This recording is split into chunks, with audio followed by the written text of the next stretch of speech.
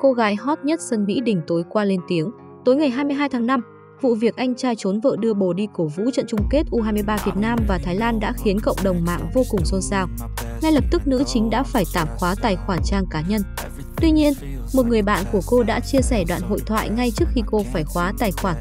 Cụ thể, người bạn này vô cùng quan tâm và hỏi thăm về vụ việc, cô gái cũng rất thật thà trả lời, em không biết. Cô cũng khẳng định nếu biết anh đã có gia đình thì không bao giờ dẫn đi giới thiệu với bạn bè như một người yêu thật sự như vậy.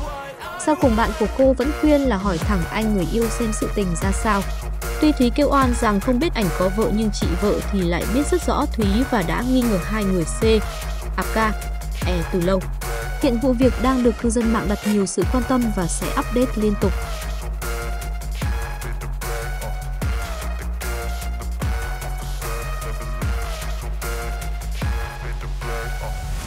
I'm inspired by thirst, I'm inspired by worth.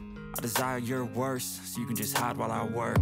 I ain't tired, you first. I'll write a second, third verse about the lies you go disperse. You never did, sh- I know it hurts. But something deep inside won't let me quit. Cảm ơn các bạn đã xem video. Các bạn đừng quên nhấn vào đăng ký kênh để không bỏ lỡ những video mới nhất nhé.